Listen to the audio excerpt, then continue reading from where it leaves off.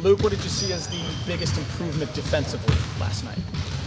Uh, I think our guys took a, a, a, big step forward as far as how hard it, it, really is to you know give give that type of effort. Um, if you want to be a good defensive team, and I think it showed on the offensive end because our guys had no legs and and, uh, and looked pretty fatigued, especially watching the tape again.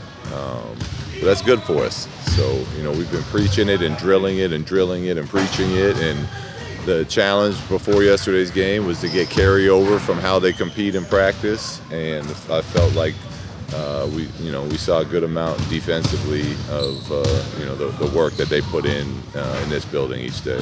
Starting with Larry, were you trying to go with more of a, a defensive approach, or was it maybe to give him a chance to, to starting five? I'll give him a chance. He's had a great training camp. Uh, he's had a great off season, and like I said, coming into this, we're gonna we're going to compete for positions and playing time, and we're going to try different lineups out together. Uh, it was nice having Brook out there. We wanted to see what those two look like together. Um, I thought they did a good job of, of you know, the way we, we played to, to start the game. What did Brook do for you guys, especially in the half-court situation? Well, he gives us obviously, uh, you know, a, a space uh, a spacer, especially from the, the, center spot. It allowed us to get a little more creative and use use him as the single side tag man, uh, make uh, big defenders have to play uh, defense out of position. Um, and he allows us, you know, really to, to, to have an inside threat, which is big because basketball should be played with, you know, from the inside out, whether that's penetrating with on the dribble, the pass. Um, and with him, we were able to get the ball down low a couple times early, and I think it, it just kind of helped collapse the defense. And you know, the more our guys get familiar and used to playing with them, uh, you know, the more we'll be able to take advantage of those situations. A lot of expectations on Brandon Ingram, especially offensively coming into the season. Do you feel like he's pressing a little bit too much? And what's your message been? Um, I think that's fair to say. I think he want, you know, he wants to be uh, great so bad, and he's worked so hard uh, that he he wants to show everyone, you know, how how good he's he is, and uh, I think because of that, he's he's had some some possessions where he definitely is trying to to, to do too much.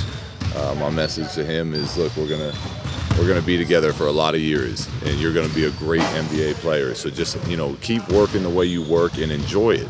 You know, have fun with your young teammates and and, growing together and let the game just kind of come to you as opposed to trying to go out there and, for, and force some things Different in practice than in games, like for shooting, for he making those shots, knocking down in practice, but when it gets to game time, that's when Yeah, he's, well, you know, he came into camp a little banged up, so we were holding him out. He wasn't doing his, his pre-game work, his post-game, or sorry, pre-practice work, post-practice work that he does. He does it, you know, every single day. It's, uh, he's developed great habits with that, and I think that's kind of threw him off his rhythm a little bit. Uh, we were trying to make sure we, we had him healthy going into the season. Uh, he's back to doing that stuff the last couple days. Um, but yeah, we you know we we see it, it, to me it's similar to how last year went. Early on, we kept telling you guys how good this guy is, and the numbers weren't matching up. And then he got his rhythm later in the year and uh, was you know really good from January on.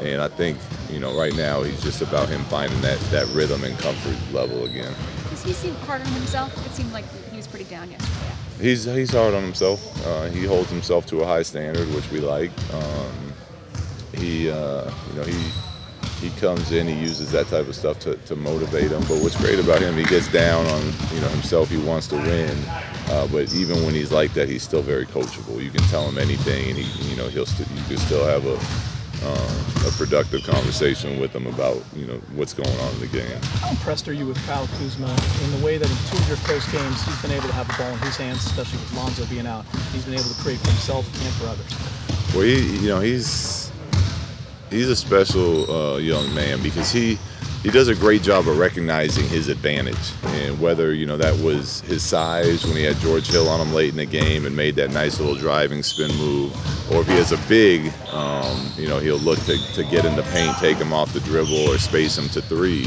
Uh, he, he, for for you know a, a, rookie, he does a great job of taking advantage and recognizing those situations. Um, you know, with him, it's it's still a lot of uh, you know, he wants to do so much. He's so excited to, do it that a lot of, you know, at the end of those games, sometimes he's he's stalling out the offense because he's just picking and popping, and, and that's not what we want. So, you know, I thought last night was a good learning experience for him as far as uh, the defenses get a lot more difficult in the final two or three minutes, and uh, that's when you really got to rely on, on, you know, setting the screen, running the offense, and making the defense, you know, getting to that second, third option within the play.